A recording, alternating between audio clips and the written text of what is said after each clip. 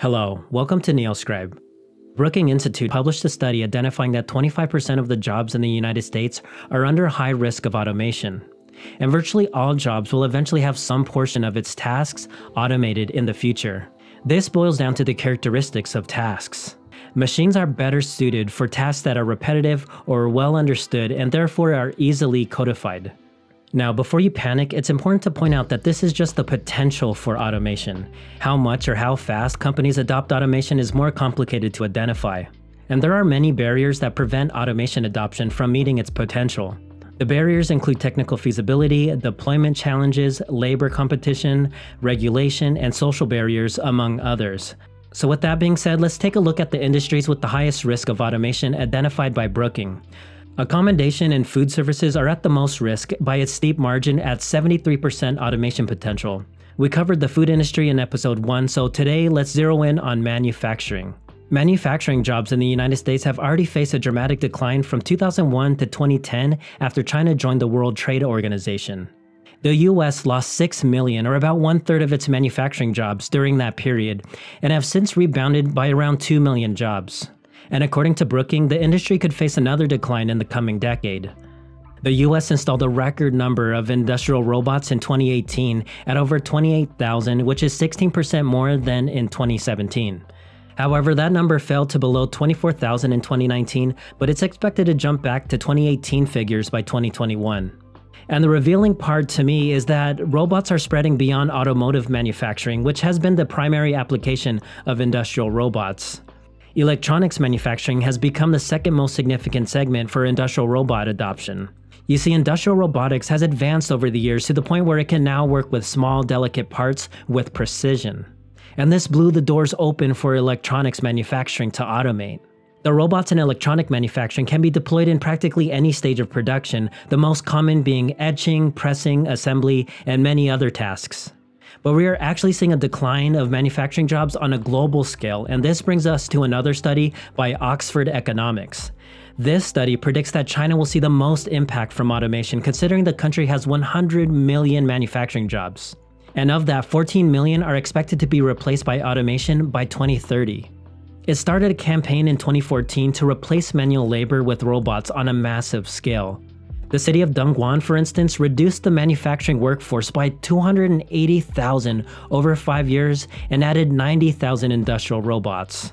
Then the Taiwanese company Foxconn, who manufactures iPhones in China, cut more than 400,000 jobs between 2012 and 2016 and replaced them with tens of thousands of robots. And then there's Europe that will face less of an impact on manufacturing comparatively, but it's still projected to lose almost 2 million manufacturing jobs by 2030. The age of automation is coming and it's inevitable. There's too much money at stake. The global GDP stands to gain $5 trillion with automation of just 30% of manufacturing tasks. And when you zoom out to automation's total impact, it's projected to add almost $16 trillion to the global economy by 2030. That's like adding the production of 13 Australias into the global economy. And the adoption of automation will only accelerate as the cost of robots decline. Industrial robots are projected to fall by 65% between 2015 and 2025. And as a result of this, the industrial robot market is projected to reach over $66 billion by 2027. These are the top industrial robot manufacturers according to Fortune Business Insights. Japan is clearly the leader in the industry, and I'm a little disappointed with no American companies, but at least Boston Dynamics Atlas can do backflips. Oh, that's right, Japan owns that too. Now, before you panic, technology has historically created more jobs than it has replaced.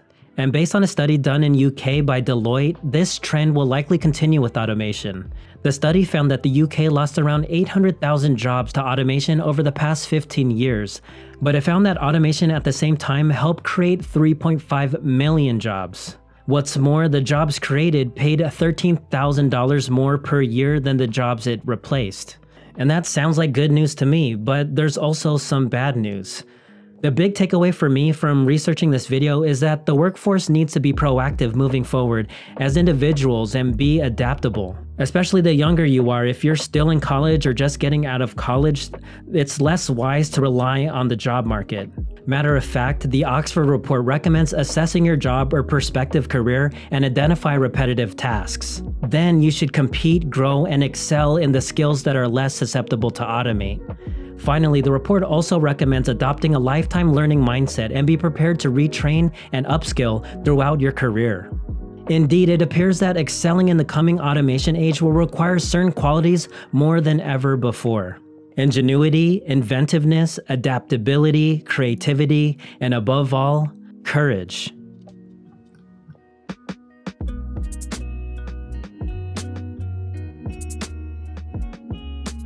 Thank you so much for watching. Episode 2 was long overdue. There is a fascinating concept that I will reveal towards the end of this series, but there are a few more books that I want to read before I'm comfortable covering it. And it's actually because of this concept that I believe the automation age is something that we should all embrace. So I'm excited to continue this series with all of you because I think this is the most important thing that I cover on this channel. After all, it affects all of us and it will affect the generations to come.